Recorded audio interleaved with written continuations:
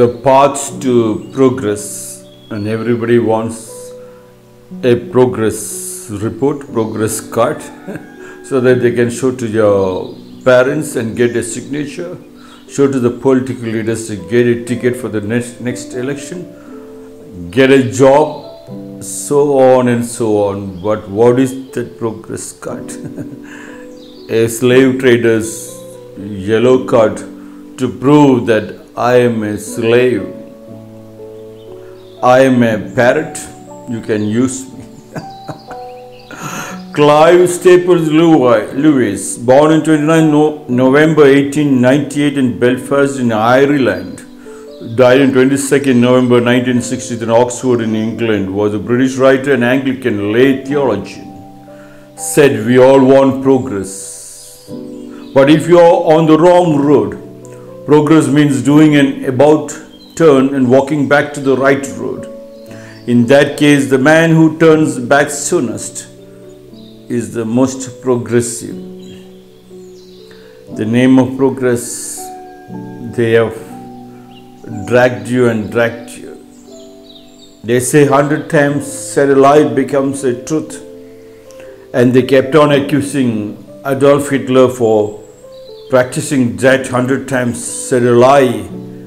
But they didn't know much before Adolf Hitler the invaders and the rulers were doing that to the people. They created education centers, not to help the children to go back to the family and stabilize the family and to love the family more, but to break the family and to hate the family. Universities are built so they get disconnected from the family. They become unconscious in their unconscious state. Yes, you will blabber anything they wanted. They wanted only that. We all want progress, but if you are on the wrong road, yes, how do you know you are on the wrong road? Even for a, for your health itself, they never helped you out. Direct to the school, direct to the university, direct to the factories, zero stretching of your physical body. So the body gets tightened, becomes stiff, and when your elasticity is gone, death knell strikes you first. The first wrong road you came to know is the body itself will tell you the truth. Nobody else need to tell because you don't believe. And even after the body tells you you were unconscious because you have been programmed in such a way that you have to go to the doctor when you have the first cold and you say hachi, you sneeze. The body is telling, the first sneeze, body is telling, yes, your health, you uh, you did not sweat it out, you did not stretch, my pipelines are getting blocked.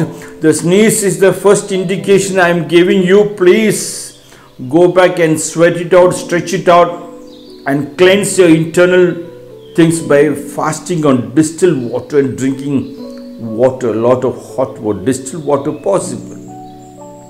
And sit in the sunlight as much as possible, sweat it out. You have no time because you have to make money for the slave master.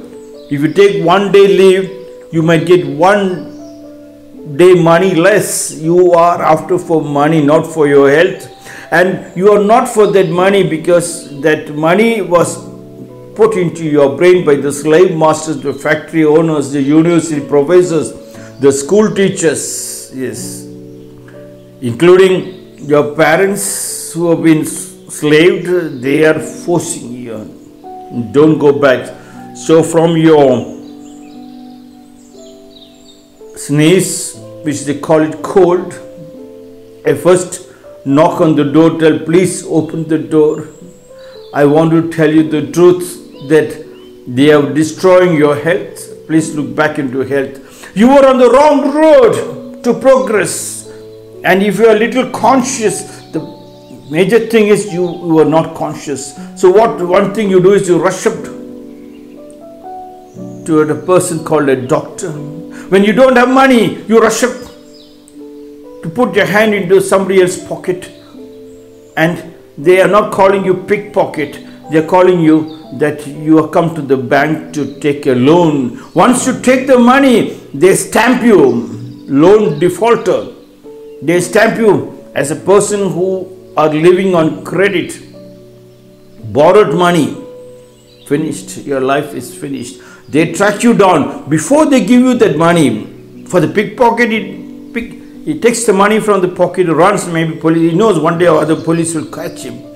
But here, you have already been stripped naked that much, much before the robber was stripped. Robber, nobody knows what's the robber's background. But here, before you could borrow that money, they have stripped you naked by asking all the questions, getting you signed in every department possible.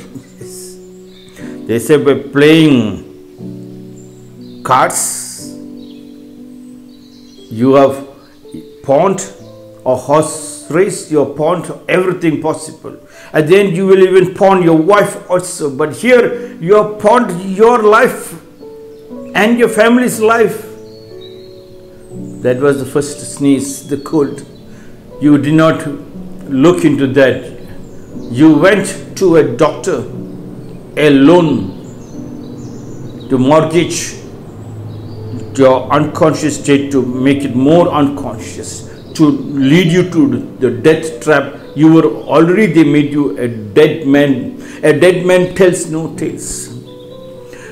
And if you're a little conscious, if you're on the progress means doing an about turn and walking back to the right road, you're a little conscious, you turn back and then you understand, yes, you are on the right path. You are gone, you are cleansed it. Otherwise, by taking the first medicine, taking the first loan, from cold you get cough, from cough to fever, fever to asthma, asthma to cancer, and you die. You, you go into the pit graveyard, and the people who had given you money build a three storied building. Think about it.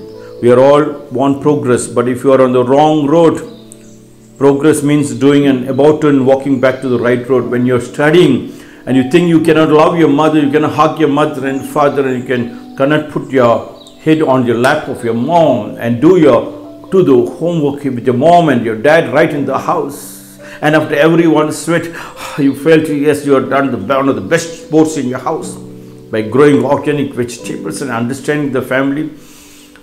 And you could hug all your relatives and your cousins. You have made the first progress. If you have not made it, that you are on the wrong path. In that case, the man who turns back soonest is the most progressive. Turn back when you come back home, rush back to your house, leave your slippers and your mind outside goes the saying. Means whatever slavery mind has happened has happened. You have to move in the crowd or the crowd will trample you to death. Come back to your house. Enjoy your family. Connected to joint family. And then you can see the vast, beautiful family tree standing tall, nobody can touch you, nobody can make you a slave. First time you've become unconscious of crying of rebirth, immediately after your birth, you cried louder out of the orgasmic experience of entering into the new world of truth, which is close to God. Progress. This is the path to.